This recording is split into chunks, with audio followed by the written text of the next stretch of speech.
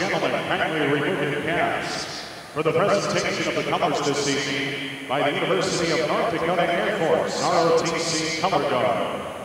Please remain standing until the colors are retired.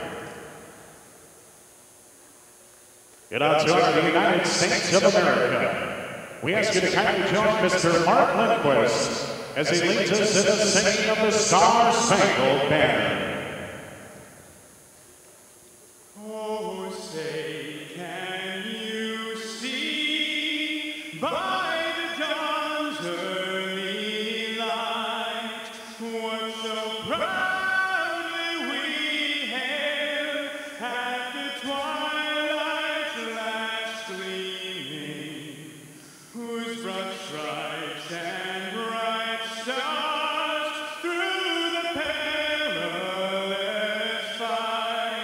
For the ramparts we watched